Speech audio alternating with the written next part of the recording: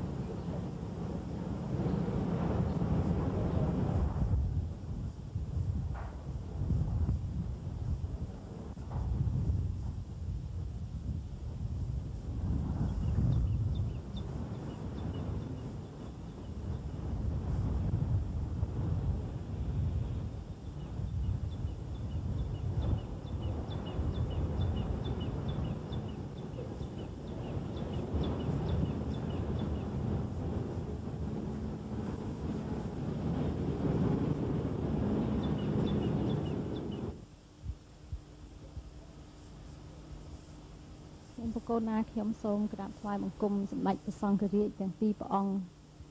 ព្រមទាំងព្រះសង្ឃគ្រប់ព្រះអង្គទាំងអស់និងគោរពបងប្អូនជនរួមជាតិជាទីស្នេហាទាំងអស់ថ្ងៃនេះសម្ដេចឪលោកព្រះរាជបញ្ជាឲ្យខ្ញុំបកូនណាខ្ញុំថតវត្ថុអនុស្សាវរីយ៍ដែលប្រមុខរដ្ឋទាំងអស់ដែលគេបានមកទស្សនានៅក្នុងប្រទេសកម្ពុជាយើងក្នុងពេល ប្រហែលខែមុននេះហើយដែលព្រះអង្គលោកសពរាជហត្ថីថាដង្វាយទាំងប្រមាណហ្នឹងឲ្យយកមកដាក់ក្នុងសារៈមន្ទីរព្រះសីហនុនេះដើម្បីទុកទេជូនជាតិទាំងអស់ជាសម្បត្តិរបស់រដ្ឋរបស់ជាតិរបស់ប្រជាជនយើងលោកឥតមានទុកអ្វីផ្ទាល់ព្រះអង្គទេហេតុនេះថ្ងៃនេះខ្ញុំកណាខ្ញុំសូមអទិសនាមថ្វាយនឹងជូនអំពីដង្វាយ ដែលជាអនុស្សាវរីយ៍របស់លួងរបស់ប្រមុខរដ្ឋនិងបើនឹងអិសរជនបរទេសធំធំទាំងឡាយដែលគេបានយកមកថ្វាយក្នុងប្រមាណខែចុងឆ្នាំ96និងដើមឆ្នាំ97នេះសូមព្រះអង្គលោកតាមចាំតតនឹងជើញមើលតាមដែលខ្ញុំប្រកូនណាខ្ញុំនឹងឧទ្ទិសនាមថ្វាយនឹងជូនសូមអរគុណគឺជាដង្វាយរបស់លោកប្រធានាធិបតី ប្រទេសញ៉ាន់ម៉ាដែលគេថ្វាយព្រះអង្គកាលដែលអញ្ជើញមកពីខែពីខែកញ្ញាឆ្នាំ96មានរូបតាប់ឡូនឹងហើយខាងក្រោមនេះទៀតមានខាសប្រាក់មានប្រអប់ប្រាក់ដែលគេថ្វាយកណ្ណានឹងគេឲ្យខ្ញុំបកូនណា ហើយប្រអប់ចម្លាក់របស់គេនឹងកណាត់នៃត្បាញកណាត់សូត្រត្បាញនៅប្រទេសគេនិងព្រះអង្គសម្ដេចឪលោកផ្ទេជួនរដ្ឋទាំងអស់ជាសម្បត្តិរបស់រដ្ឋរបស់ប្រជាជនកម្ពុជា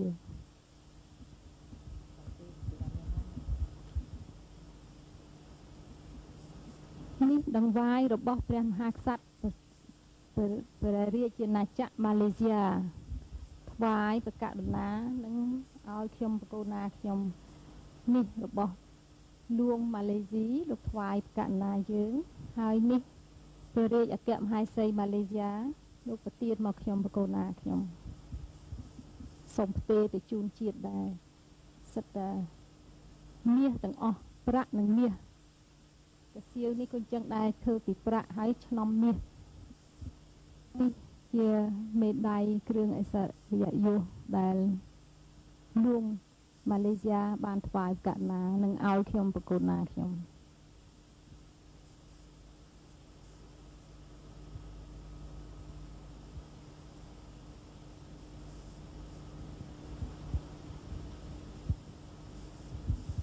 នេះគឺលោកប្រធានាធិបតីស៊ូហាតូនៃប្រទេសឥណ្ឌូនេស៊ីបានឲ្យមកខ្ញុំប្រកូនណាខ្ញុំ ហើយបានធថ្វាយទៅកណ្ណាយើងនៅតាប់លោឈើចម្លាក់មួយដ៏ល្អពីកោះបាលីន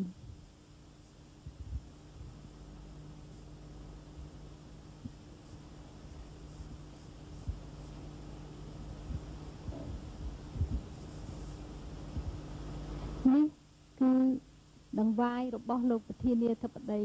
ប្រទេសស្វីសថ្វាយប្រកាសណា ជានាឡិកាមាសនៅប្រទេសស្វីសព្រោះប្រទេសស្វីសគេល្បីខាងឯធ្វើនាឡិកាឥឡូវព្រះអង្គលោកផ្ទេជូនជាតិទៀត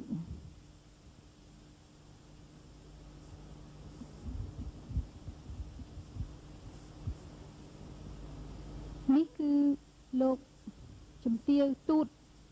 រាជាណាចក្រស៊ូអែតថ្វាយប្រកាសណាគ្រឿងកែវថូកែវគ្រីស្តាល់ដែលគេធ្វើនៅ ផលិតនៅប្រទេសស៊ូអែត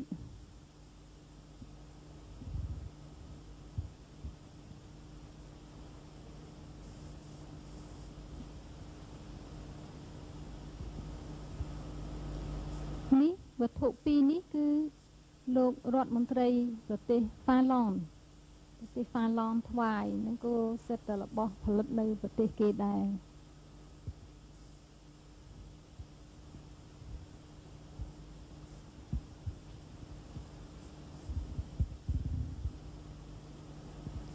នេះគឺជា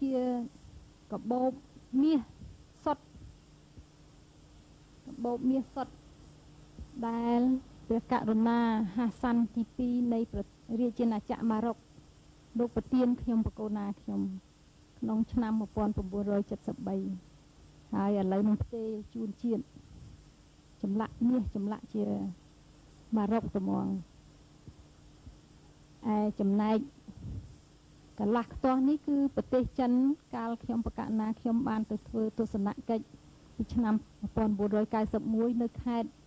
ខាងអេសានប្រទេសចិន គឺខេត្តលាវនីគេបានឲ្យខ្ញុំបកណាខ្ញុំ គឺកន្លះខ្ទាស់មានត្បូងត្បូងសត្បូងក្រហមអីដែលមានតម្លៃណាស់របស់គេខ្ញុំបកណាខ្ញុំសុខចិត្តថ្វាយទេទៅជូនជាតិប្រជាជាតិនិងប្រជាជនកម្ពុជាទុកជាសម្បត្តិរដ្ឋ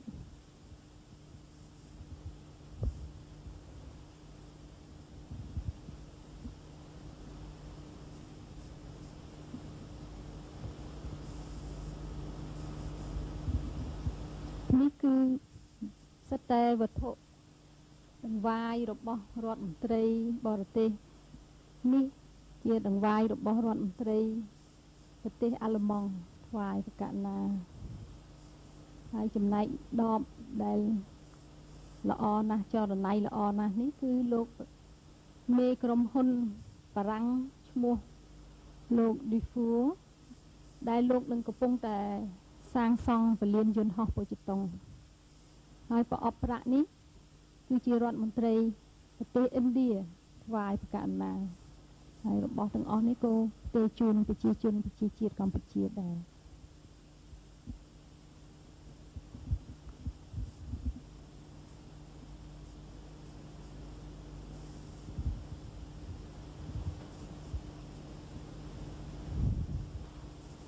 ផើងដ៏ល្អនេះគឺលោក សេនាប្រមុខគីមចុងអ៊ីលនៃសាធារណរដ្ឋជាមិនិតជាធិបតីកូរ៉េថ្វាយប្រកាសណាយើងជាថ្លើមថ្មដ៏ល្អពិសេសនៅក្នុងប្រទេសគេហើយកាលណាលោកសព្វិហតិទេជូនបងប្អូនកូនចៅពីជនជាជាតិកម្ពុជា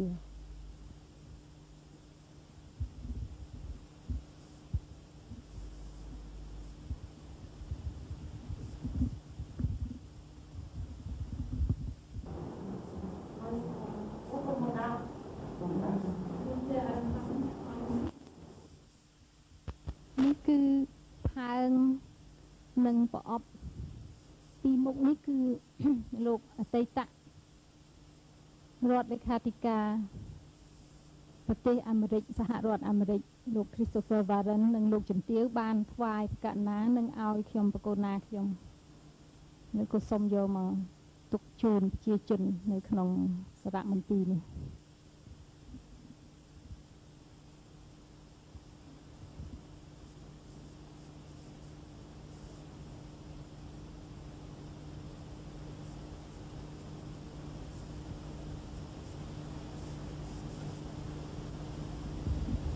នេះ ជាមេដៃបារាំងសេះលោកប្រធានាធិបតីបារាំងសេះលោករៈជារៈឲ្យខ្ញុំបកូនណាខ្ញុំ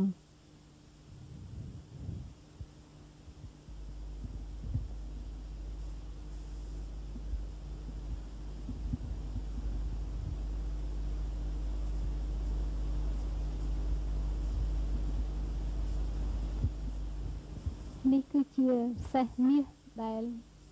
ជាដង្វាយរបស់លោកប្រធានាធិបតីប្រទេសសិង្ហបុរីថ្វាយប្រកាសណានឹងឲ្យខ្ញុំប្រកូណាខ្ញុំក្នុងទសវត្ស80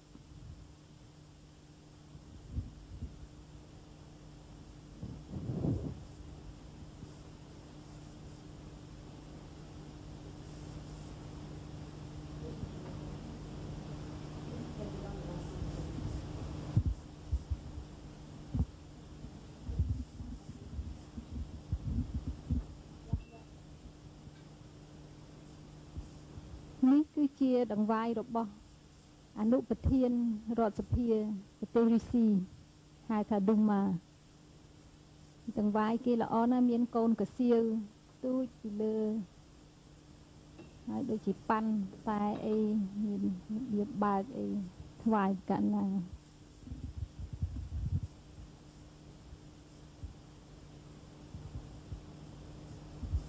នេះផើងដ៏ល្អនេះ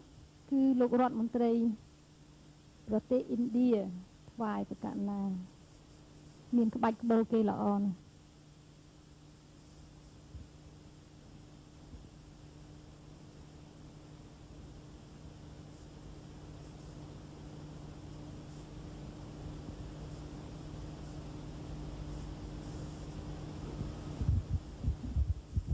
នេះគឺតាប្លូ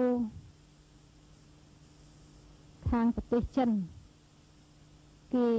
ត្បាញគេបាក់ទាំងសងខាងដូចគ្នាទាំងអស់ជាដង្វាយរបស់លោកជំទាវជាយូអឺជាឯកអគ្គរដ្ឋទូតប្រទេសចិនថ្វាយប្រកាសណាចំណែកថ្លើមថ្មចម្លាក់នេះដ៏ល្អណាស់ហ្នឹងក៏លោកជំទាវ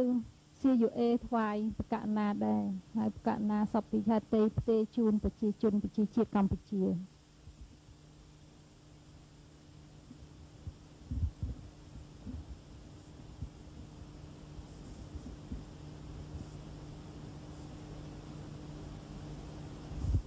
នេះ គឺជាដង្វាយរបស់គណៈប្រតិភូនៃ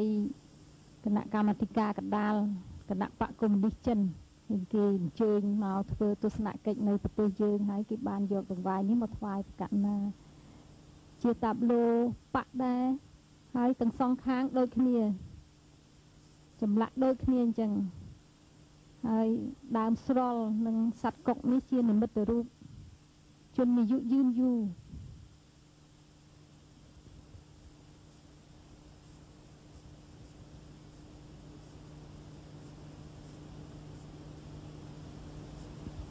របស់មាសទូចនេះកន្លះទូចនេះគឺលោករដ្ឋលោកឯកអគ្គរដ្ឋទូតប្រទេសប៉ាណាម៉ាថ្វាយប្រកាសរណា នៅក្នុងកញ្ចក់នេះ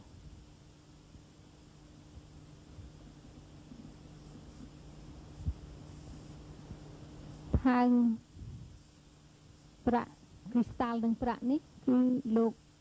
អតីតរដ្ឋទូតប្រទេសម៉ាឡេស៊ីមុននឹងថ្វាយបង្គំលាទៅប្រទេសវិញថ្វាយប្រកាសណាហើយរបស់អស់នេះសិតតែមិត្តភ័ក្តិថ្វាយប្រកាសណានឹងឲ្យខ្ញុំប្រកាសណាខ្ញុំមានខ្សែកមាសហើយនេះគ្រួសារលោកអតីតនាយករដ្ឋមន្ត្រីជួនឡាយនៃប្រទេសចិនយកមកថ្វាយប្រកាសណាដែរ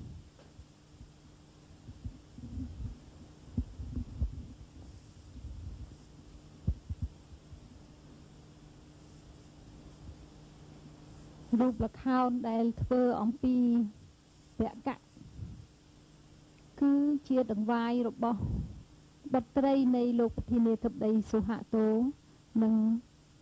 គ្រួសារគេបានថ្វាយប្រកាសណានឹងឲ្យខ្ញុំប្រគុណណាខ្ញុំដង្វាយនេះជារូបបុរាណរទេសបុរាណថ្វាយដោយកូនប្រុស នៃលោកប្រធានតេងសៅពីងប្រទេសចិនប្រជាមានិត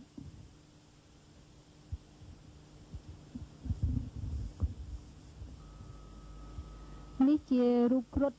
ធ្វើអំពីឈើឆ្លាក់អំពីឈើដែលលោកអតីតរដ្ឋទូតប្រទេសឥណ្ឌូនេស៊ីមុននឹងគាត់ថ្វាយបង្គំលាទៅប្រទេសវិញគាត់បានយកមកថ្វាយប្រកាសណា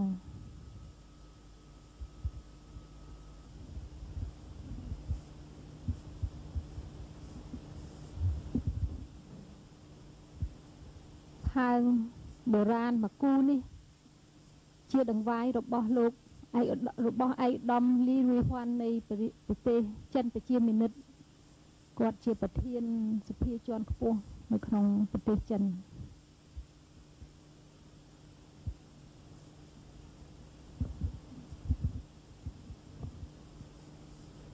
ថាសប្រាក់នេះគឺជាដង្វាយរបស់អង្គទូតប្រចាំនៅ រាជាណាចក្រកម្ពុជាថ្វាយប្រកាសណា យើងនៅក្នុងឱកាស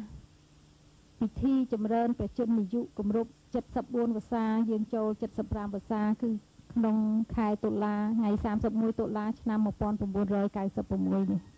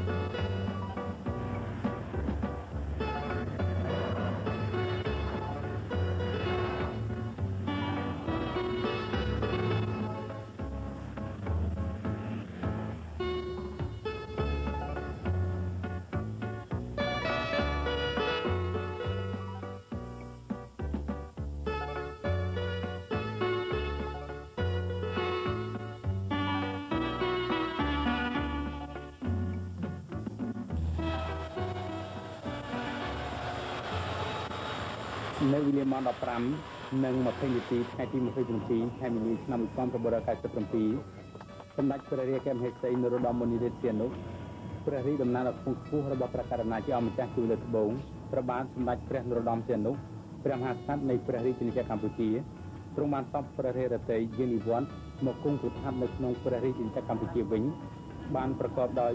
ព្រះសវត្ថិភាពបានប្រតិបានដង្ហែព្រះករណាជាអម្ចាស់ជួរលើត្បូង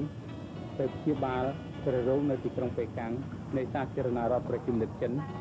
កាលពីថ្ងៃទី26ខែកុម្ភៈឆ្នាំ1992កន្លងទៅនេះយើងនឹងអញ្ជើញចូលរួមធ្វើព្រះរាជបដិសណ្ឋារកិច្ចស្វាគមន៍ព្រះរាជដំណើរយាងនិវត្តន៍របស់សម្ដេចព្រះរាជអគ្គមហេសីដល់អាកាសយានអន្តរជាតិគូចិនតុងរួមមានសម្ដេចជាស៊ីមប្រមុខរដ្ឋស្ដីទីសម្ដេចក្រមព្រះនរោត្តមរណរដ្ឋនាយករដ្ឋមន្ត្រីទី1នៃរដ្ឋាភិបាលកម្ពុជា និងព្រះអង្គចាស់ស្ត្រីនរោត្តមម៉ារីរ៉ានរដ្ឋជាព្រះជាយាលោកជំទាវប៊ុនរនីហ៊ុនសែនឯកឧត្តមលុយស៊ិនឈៀងប្រធានរដ្ឋសភាស្ដីទីឯកឧត្តមសឹងស៊ូបែអនុប្រធានទី2នៃរដ្ឋសភាសម្ដេចព្រះរាមនរោត្តមពុផាទេវីទីប្រឹក្សាអមរាជរដ្ឋាភិបាលទទួលបន្ទុកការងារវប្បធម៌និងវិចិត្រសិល្បៈសម្ដេចហេងសំរិនសម្ដេចពវសិដ្ឋាសើនសានសម្ដេចកែវសែនកុសលឯកឧត្តមជាសុតឧត្តមទីប្រឹក្សាព្រះមហាក្សត្រ ឯកឧត្តមអង្គជាតិឧបនាយករដ្ឋមន្ត្រីនិងជារដ្ឋមន្ត្រីក្រសួងសាធារណការនិងដឹកជញ្ជូនអ្នកអង្គញាជាវិវាំងគុំសំអល់ឧបនាយករដ្ឋមន្ត្រីនិងជារដ្ឋមន្ត្រីព្រះបរមរាជវាំងព្រមទាំងឯកឧត្តមលោកជំទាវជាសមាជិកសមាជិកានៃរដ្ឋាភិបាលរដ្ឋសភារាជវង្សកានវង្សនិងអង្គទូតនៃប្រទេសនានាប្រចាំនៅកម្ពុជា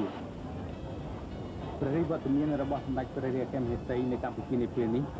គឺព្រះអង្គនឹងបន្តជួយទ្រទ្រង់ ក្នុងផ្នែកសង្គមគិច្ចមនុស្សធម៌ផ្នែកសាសនានិងចូលរួមជាព្រះរាជាធិបតីក្នុងពិធីមហោស្រពភាពយន្តដែលប្រព្រឹត្តទៅនៅថ្ងៃទី29ខែមីនារហូតដល់ថ្ងៃទី5ខែមេសាខាងមុខនេះ។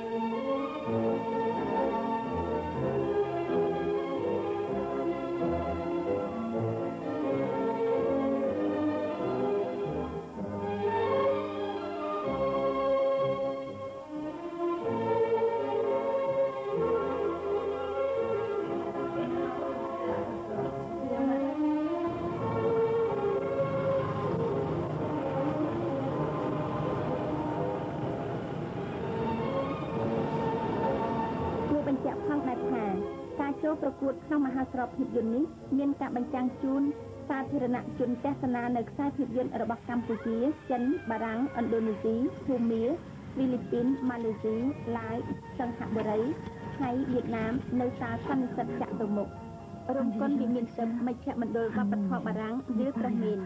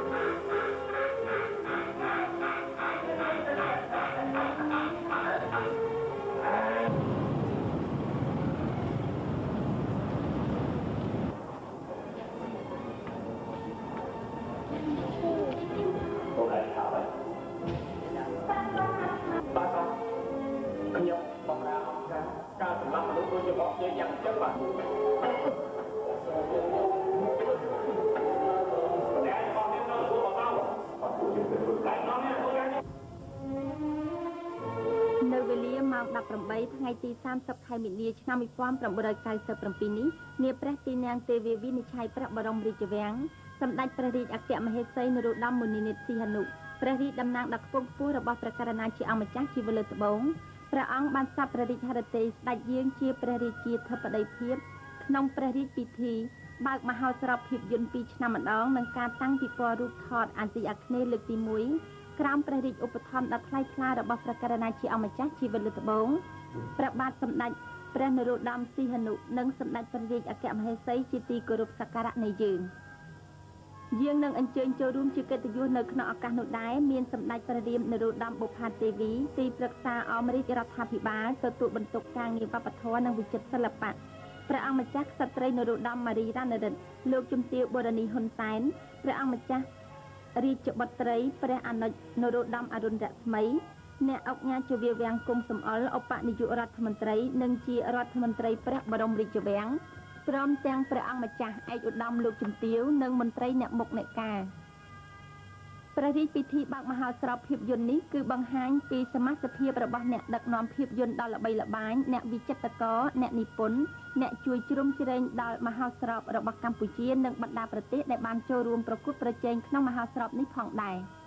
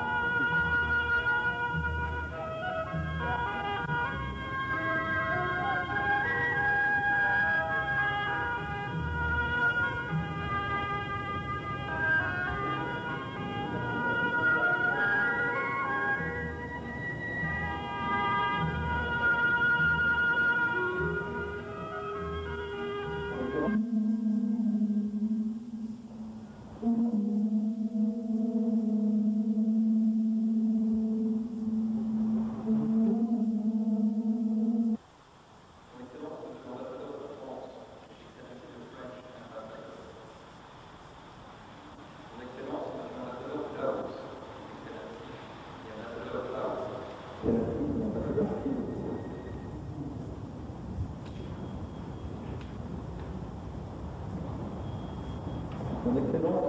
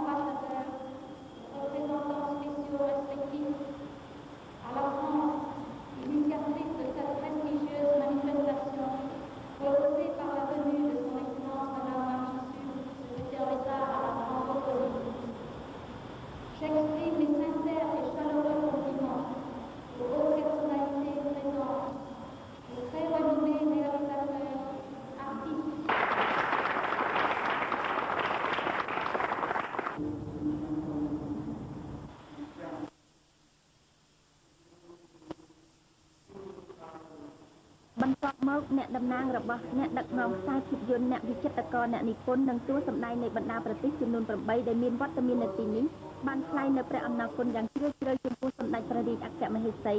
ដែលព្រះអង្គបានសពព្រះរាជហឫទ័យរៀបចំឡើងនៅព្រះរាជពិធីទទួលបដិសណ្ឋារកិច្ចស្វាគមន៍និងការបើកមហោស្រពភាពយន្តបានប្រព្រឹត្តទៅក្នុងសភាពដ៏មហោឡារិកនេះ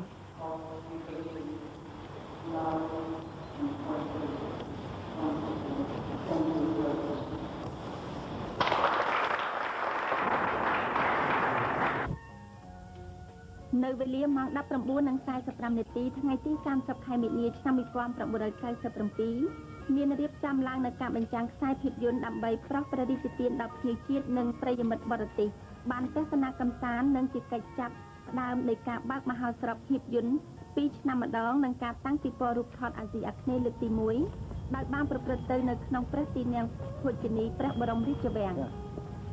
ចំពោះខ្សែភាពយន្តដែលបានលើកយកមកបញ្ចាំងនៅក្នុងរាត្រីដល់ប្រការនេះមានចំណងជើងថាខ្សាត់ថតកុនរបស់លោក Frederick Mitterrand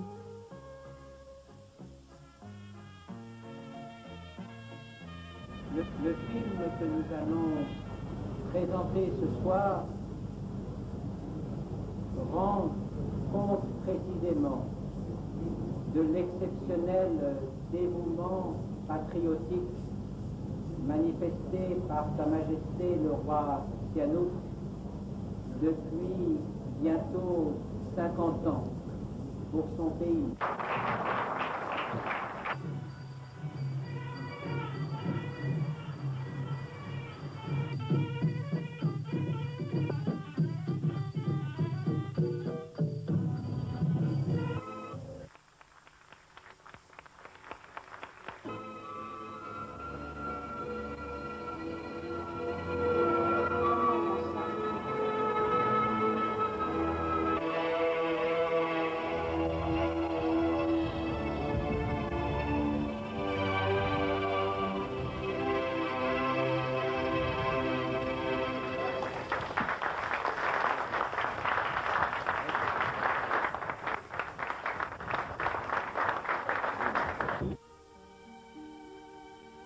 បន្ទាប់ពីការបញ្ចាំងនៅខ្សែភាពយន្តទាំងពីររឿងបានចាប់សពគ្រប់រួចមកនៅក្នុងរាត្រីដដែលនេះដែរសម្ដេចព្រះរាជអគ្គមហេសីទ្រង់បានសពព្រះរាជហឫទ័យរៀបចំឡើងនៅព្រះរាជពិធីលៀងសាយភោជមួយ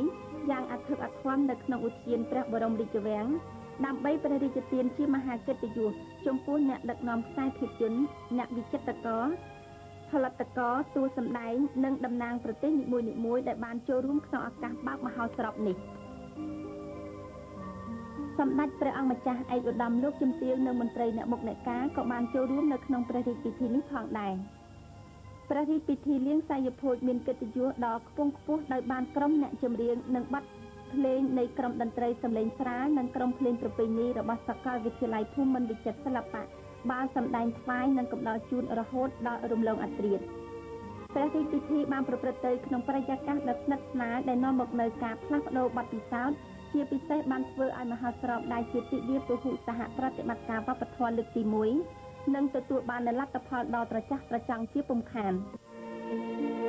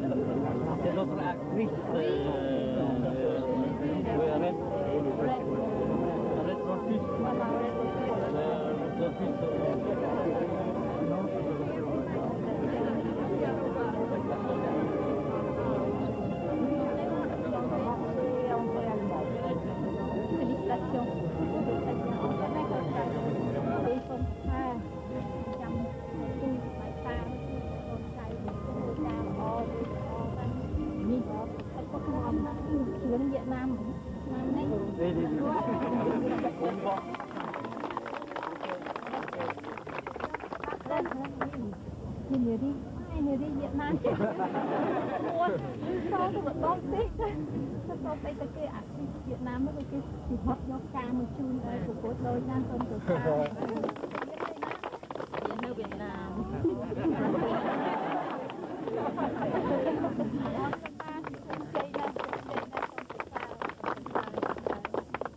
ដៃឪផ្ញើអង្វាន់មកប្រទាននោះជូនណាបានទៅជួយបានបានបានអ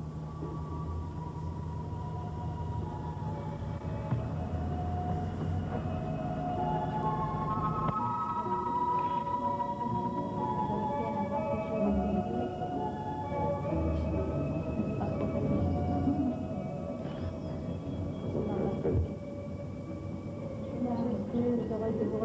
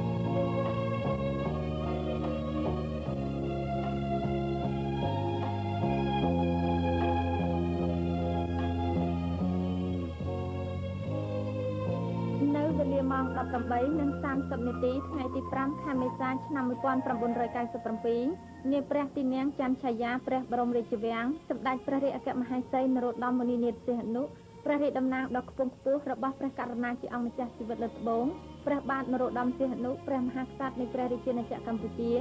ព្រះអង្គបានចាប់ព្រះរាជហឫទ័យស្ដេចយាងជាព្រះរាជាធិបតីភាពដ៏ខ្ពង់ខ្ពស់ នៅក្នុងពិធីបិទមហោស្រពភាពយន្ត2ឆ្នាំម្ដងនិងការតាំងពិព័រណ៍រូបថតលើកទី1អាស៊ីអាគ្នេយ៍បន្ទាប់ពីបានដំណើរការប្រកបដោយជោគជ័យក្នុងរយៈពេលជាង1សប្ដាហ៍ចាប់ពីថ្ងៃទី29ខែមីនារហូតដល់ថ្ងៃទី5ខែមេសាឆ្នាំ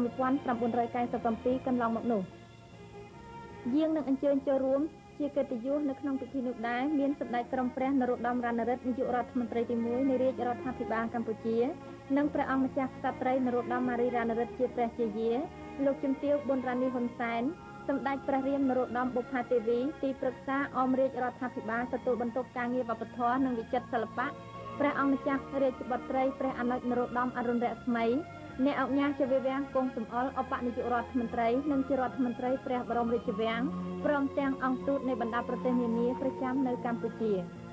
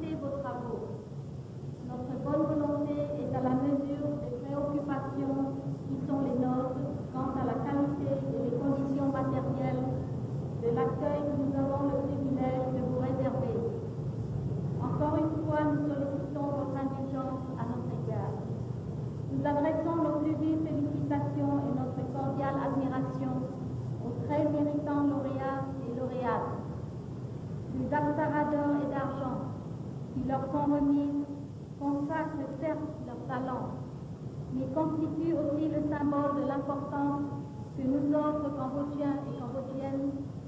et plus particulièrement le premier d'entre eux, attachons à l'art cinématographique, à son développement, à son rayonnement. Notre reconnaissance va tout particulièrement aux organisateurs de cette biennale. La passion qui les anime est, nous le savons, à la mesure de l'affection qu'ils portent, non seulement au pays d'accueil, mais à tous les peuples ici représentés. leur rapport à ce noble art et aux artistes œuvre à l'ouverture au monde, au dialogue entre les cultures, donc à la tolérance et au respect de l'autre. Si cette manifestation a suscité une meilleure compréhension et une estime mutuelle, alors à partir de ce jour, nous aurons encore progressé dans la voie de la paix de l'amitié, de la coopération. Car tel est bien le sens donné à la confrontation des œuvres, fussent-elles de fiction. Rapprocher les hommes et les femmes par-delà les frontières, les systèmes ou les idéologies qui les isolent ou les divisent. Notre royaume convalescent émerge douloureusement de plus de deux décennies de sanglantes de tribulations qui ont eu hélas pour essayer d'isoler et de déstructurer notre peuple khmer. Nos élites furent décimées ou condamnées à l'exil. Notre cinéma cambodgien revient de loin, mais sa relative indigence aujourd'hui recèle les prémices d'une renaissance. Nos réalisateurs, producteurs, artistes auront, nous en sommes persuadés, beaucoup partis au contact de leurs collègues d'Asie et de France. Au nom de Sa Majesté le Roi, je forme des vœux fervents pour votre bonheur personnel, votre réussite et l'accomplissement de tous vos nobles projets. Que vive le cinéma d'Asie. Je vous remercie.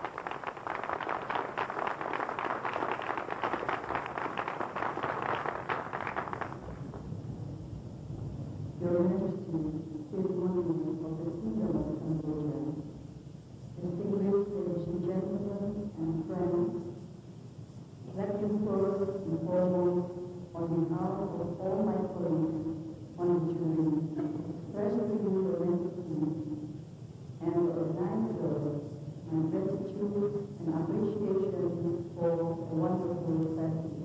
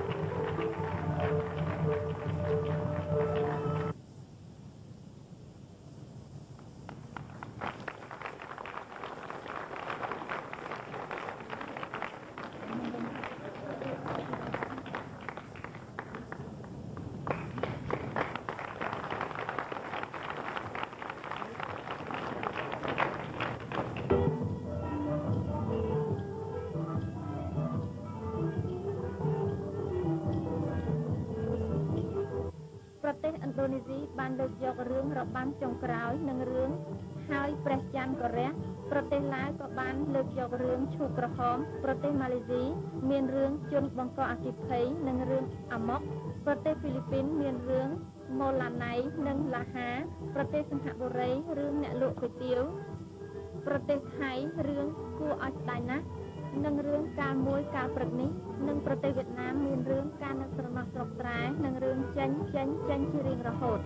ចំពោះរង្វាន់ជ័យលាភីចំណាត់ថ្នាក់លេខ1គឺរង្វាន់អប្សរាមាសបានទៅលើលោកស្រីប៉ាគីតាវីតដាហ្សាប្រទេសឥណ្ឌូនេស៊ីនិងចំណាត់ថ្នាក់លេខ2គឺរង្វាន់អប្សរាប្រាក់បានទៅលើលោកឆាត់ថូរីព្រះរាជបុត្រព្រះមហាក្សត្រថៃក្រៅពីនេះទទួលបានលិខិតសរសើរ នៅក្នុងឱកាសដ៏ប្រសើរនេះដែរសម្ដេចព្រះរាជអគ្គមហេសីទ្រង់អន្តរព្រះរាជហឫទ័យរៀបចំឡើងនៅផ្ទាំងទស្សនីយភាពមួយដ៏ប្រណិតដែលមានការចូលរួមសម្ដែងពីសំណាក់ក្រុមសិល្បៈរបស់សាកលវិទ្យាល័យភូមិន្ទវិចិត្រសិល្បៈនៅរបាំអប្សរារបាំហនុមាននាងសវណ្ណមច្ឆានិងរបាំទេពមនោរម្យដែលមានទស្សនវិជ្ជាដូចតទៅ។ the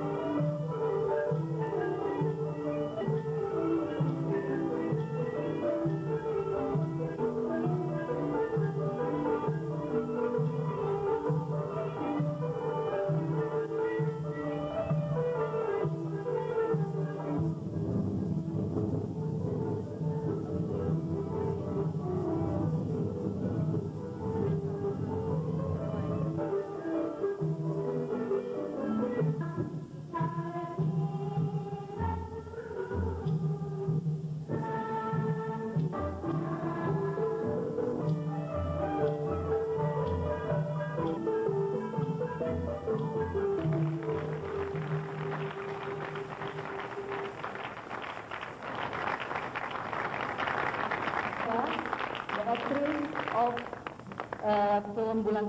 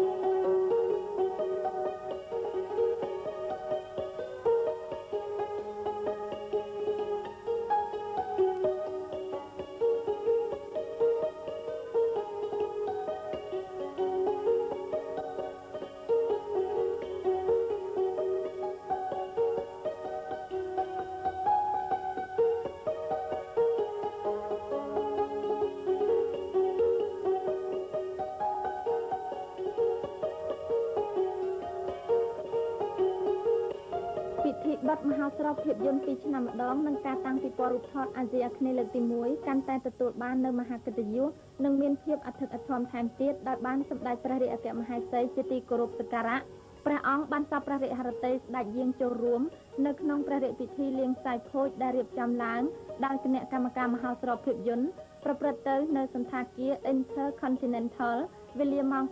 8:30នាទីរាត្រីថ្ងៃដដែលនេះដែរ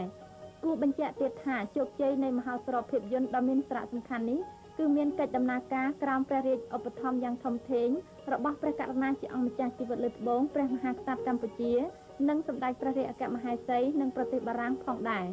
ជាងនេះទៅទៀតការសម្រេចបាននូវស្នាដៃយ៉ាងធំធេងក្នុងទិវាពហុសហប្រតិបត្តិការវប្បធម៌លើកទី1គឺជាមហាកិត្តិយសរបស់កម្ពុជាហើយពិតជាបាននាំកម្ពុជាចូលឈរយ៉ាងពេញលេញក្នុងឆាកអន្តរជាតិ។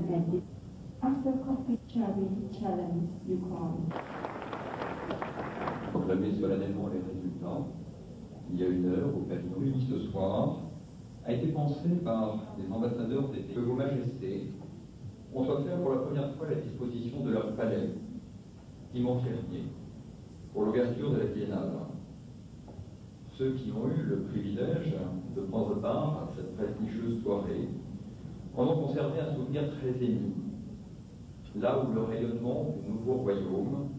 répondait aux faces de l'antique monarchie khmer. Madame et moi-même aurons plaisir à la fin du dîner d'annoncer à Votre Majesté le Mont-Vert, Monseigneur le Prince Norodom Ranari, Premier ministre, Premier, Premier ministre, de membres de la famille royale et du gouvernement chargé de la francophonie est bien voulu par ailleurs lui faire l'amitié et nous le remercions très sincèrement. Même moi pendant cette semaine. Notre homme Papa Lévy a bien voulu, selon les hautes instructions, je vous rappelle, il s'agit pour l'Apsarador du film, et pour la Sarah d'argent du film Sia Dai 1. Sometimes, extensive ladies and gentlemen, is the coconut dance, both of movement by God that would divide. I mean,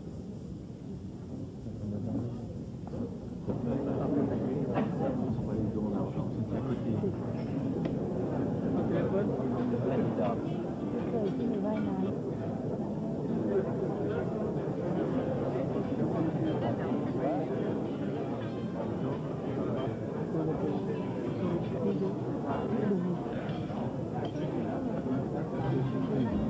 Chinese you.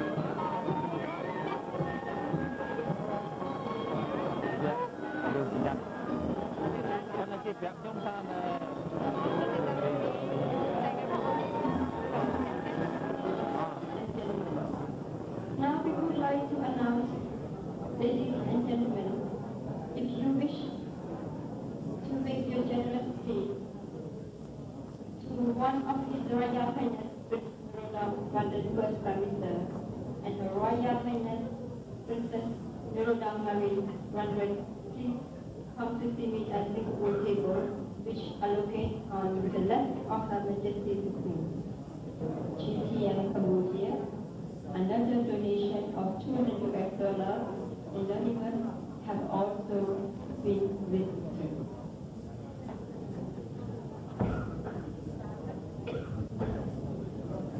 En Lucerne, après la précédente baisse, à votre majesté et à vous, mesdames et messieurs, monsieur et madame, je ai là et rends à titre personnel de faire un don de 50 dollars établissant à environ 10 000 dollars de la société concessionnaire de la l'aéroport et en note de